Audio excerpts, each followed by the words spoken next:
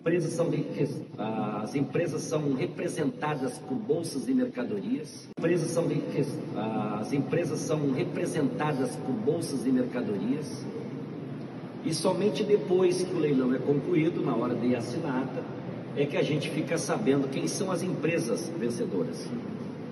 A partir da revelação de quem são essas empresas, começou os questionamentos se verdadeiramente essas empresas têm capacidade técnica e financeira para honrar os compromissos de um volume expressivo de dinheiro público.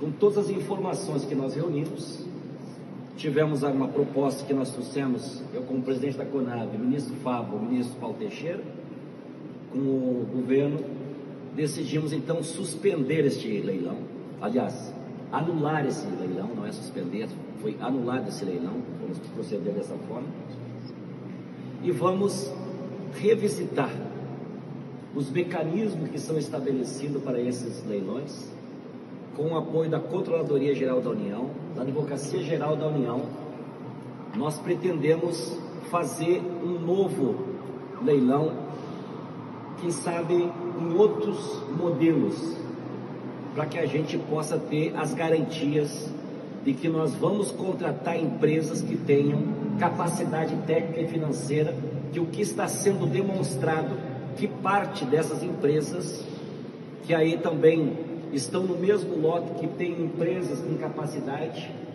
né, não tenha como a gente depositar esse dinheiro público sem ter as reais garantias de que esse leilão, esses contratos posteriores serão honrados.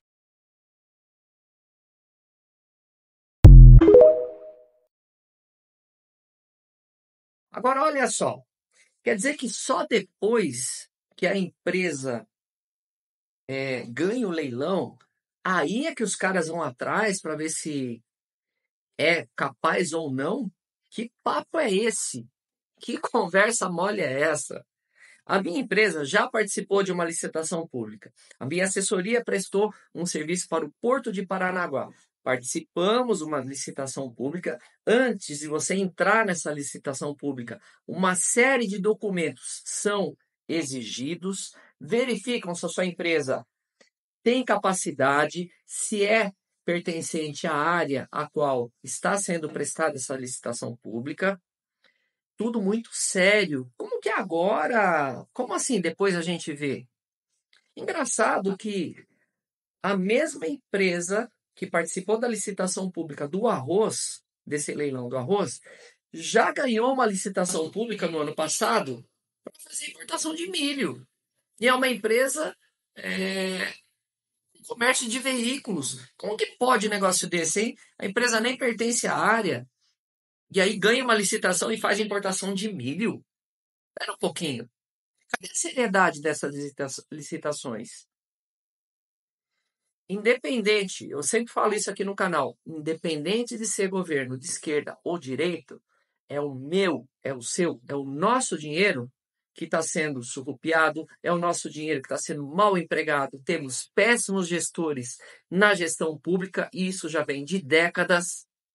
Estão brincando com o nosso dinheiro, estão brincando com os nossos impostos. Essa é a minha opinião. Agora quero saber a sua. Você compartilha dessa mesma opinião? Deixa aqui nos comentários.